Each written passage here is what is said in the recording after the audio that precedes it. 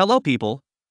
Today, even more devices began to receive a stable update to One UI 6.0 on the basis of Android 14.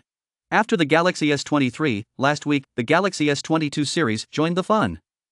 At first, the update was received by beta testers, but this week, the update has become actively distributed to most regions. Now, the Galaxy A54, Galaxy Fold 5, Flip 5 began to receive an official update in the United States. A series of tablets Galaxy Tab S9 in Europe and the recently announced Galaxy S23 FE on the Exynos version also began to be updated today, finally. Keep in mind, friends, that updates are spreading gradually depending on the region. We have a detailed instruction on how to change the region, a link to it in the description.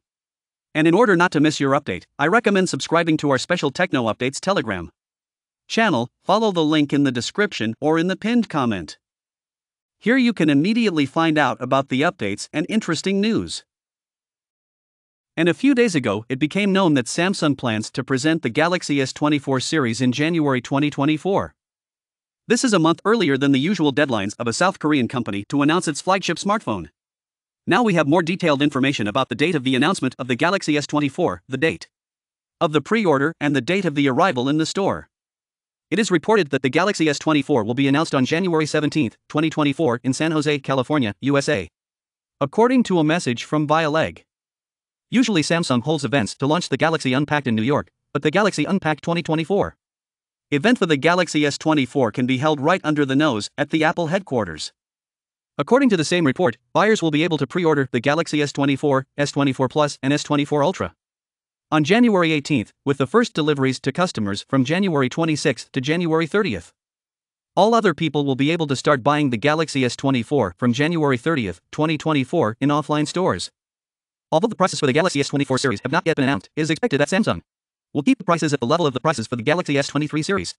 This means that S24 can cost from $900 and S24 Plus and S24 Ultra from $1,000 and $1,200 respectively. As for the basic models, I personally have no questions in terms of upgrades. Hearing QHD Plus screen on S24 Plus, more OZU and 2500 nits of peak brightness on the entire line, then. The Ultra model has questions, since neither the charging speed nor even the fingerprint scanner have been upgraded. In addition, the 10x camera is also changed to 5x. We still have to evaluate the wisdom of this decision.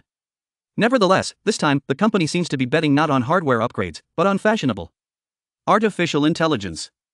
The Galaxy S24 will be the first AI phone from Samsung in which the functions of artificial intelligence developed by the company will be implemented. Samsung can also rename the long suffering Bixby in Galaxy AI, and they have already introduced the first function of artificial intelligence translation from one language to another in real time during a call. Samsung considered San Francisco and Seoul as potential places to launch the Galaxy S24, but in the end, they decided to hold an event in San Jose, USA due to close cooperation with Google and competition with Apple. The company launches the Galaxy S24 two weeks earlier than the Galaxy S23 to improve revenue over the first quarter of the year.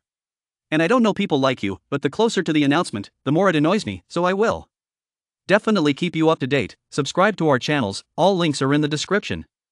Thank you for watching, good luck to everyone.